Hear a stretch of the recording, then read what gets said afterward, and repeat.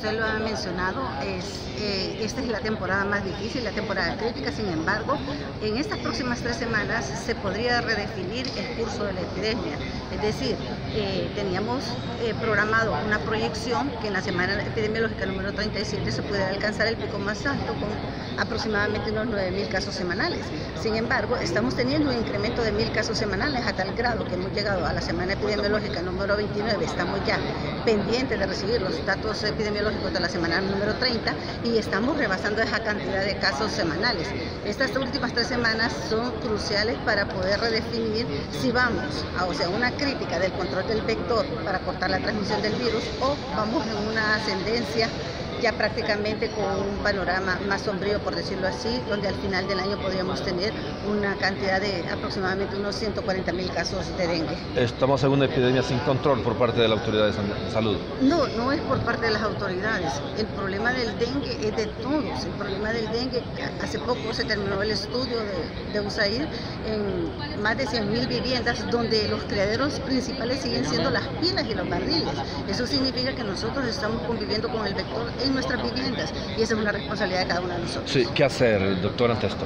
Bueno, eh, ustedes han prestado un servicio importante como radiodifusora porque a nivel nacional se les escucha y esta no es la primera entrevista. Yo creo que desde febrero estamos insistiendo en que la población tiene que integrarse a estas medidas de, del control del vector sin el acompañamiento de la, de la, población. Es muy difícil que podamos cortar la transmisión. ¿Cómo eh, tener control de esta epidemia?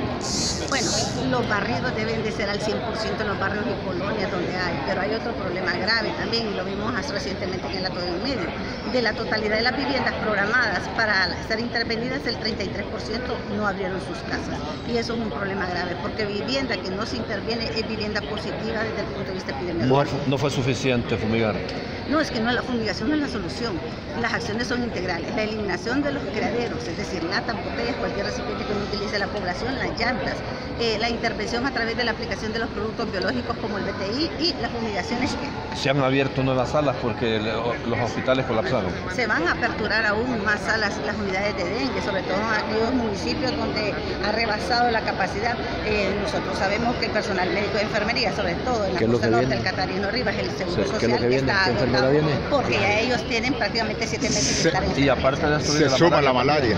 Bueno, la malaria siempre ha existido. Yo creo que eh, donde están esos brotes es un poco más fácil de controlarlos. Para malaria hay tratamientos específicos y también eh, el uso de insecticidas con acción residual nos deja un margen como Mor de seis meses. para tiene.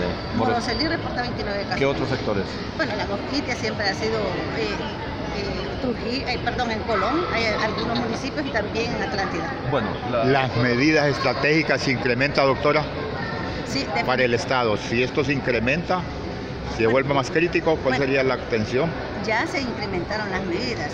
Hace un par de semanas, recuerde que quien toma al final de cuentas la responsabilidad es el Poder Ejecutivo, con una inversión sumamente importante, donde recientemente a los gobiernos municipales inclusive se les ha dotado de 50 millones divididos de forma equitativa, eh, es decir, eh, tienen un, un porcentaje por la población y por la cantidad de casos, y donde el que se ha beneficiado un poco más es Choloma y es el que ha sido más afectado por esta epidemia de dengue.